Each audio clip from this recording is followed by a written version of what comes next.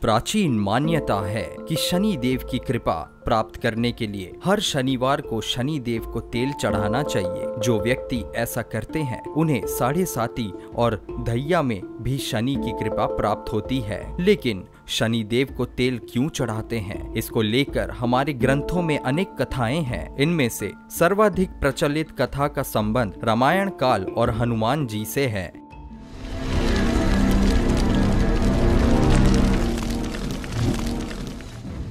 स्वागत है आप सबका चैनल अद्भुत रहस्य में। यहाँ पर हम आपको अद्भुत, आश्चर्यजनक, रोमांचित कर देने वाली कहानियों से रूबरू कराएँगे। कथा इस प्रकार है, शास्त्रों के अनुसार रामायण काल में एक समय शनि को अपने बल और पराक्रम पर घमंड हो गया था। उस समय हनुमान जी के बल और पराक्रम की कीर्ति चारों दिशाओं में फैली हुई थी। जब शनि को हनुमान जी के संबंध में जानकारी प्राप्त हुई तो शनि बजरंग बली से युद्ध करने के लिए निकल पड़े। एक शांत स्थान पर हनुमान जी अपने स्वामी स्वामी श्री राम की भक्ति में लीन बैठे थे। तभी वहाँ शनिदेव आ गए और उन्होंने बजरंग बली को युद्ध के लिए ललकारा। युद्ध की ललकार सुनकर हनुमान जी ने शनिदेव को समझाने की प्रयास की, लेकिन शनि नहीं माने और युद्ध के लिए आमंत्रित करने लगे। अंत में हनुमान जी भी युद्ध के लिए तैयार हो गए। दोनों के बीच घमासान युद्ध हुआ। हनुमान जी ने शनि को बुरी तरह परास्त कर दिया। युद्ध में हनुमान जी द्वारा किए गए प्रहारों से शनिदेव के पूरे शरीर में भयंकर पीड़ा हो रही थी। इस पीड़ा को दूर कर करने के लिए हनुमान जी ने शनि को तेल दिया। इस तेल को लगाते ही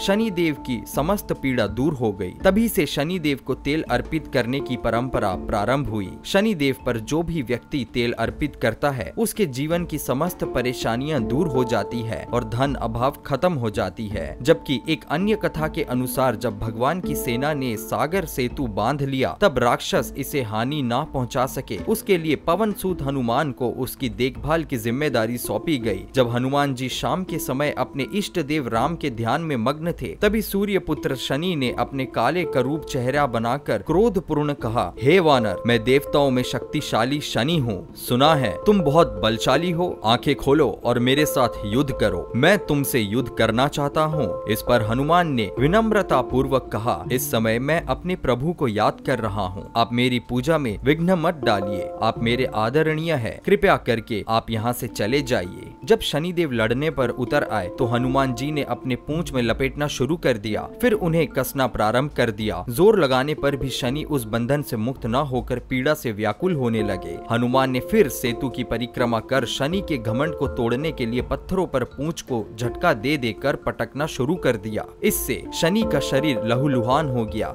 जिससे उनकी पीड़ा बढ़ती गई। तब शनि देव ने हनुमान जी से प्रार्थना की कि मुझे बंधन मुक्त कर दीजिए। मैं अपने अपराध की सजा सजा पा चुका हूँ, फिर मुझसे ऐसी गलती नहीं होगी। तब हनुमान जी ने जो तेल दिया, उसे घाव पर लगाते ही शनि देव की पीड़ा मिट गई। उसी दिन से शनि देव को तेल चढ़ाया जाता है, जिससे उनकी पीड़ा शांत हो जाती है और वे प्रसन्न हो जाते हैं। हनुमान जी की कृपा से शनि की पीड़ा शांत हुई थी। इसी वजह से आज भी शनि हनुमान जी के भक्तों पर विशेष कृपा बनाए रखते हैं। वीडियो आपको कैसी लगी, आप हमें कमेंट के माध्यम से ज़रूर बताइए और इस वीडियो को लाइक अवश्य ही कीजिए। ज़्यादा से ज़्यादा वीडियो को शेयर कीजिए और भी ऐसे ब्रह्मांड के अद्भुत रहस्य और उससे जुड़ी बहुत सी अनसुलझे कहानियों को सुनने के लिए देखते रहिए।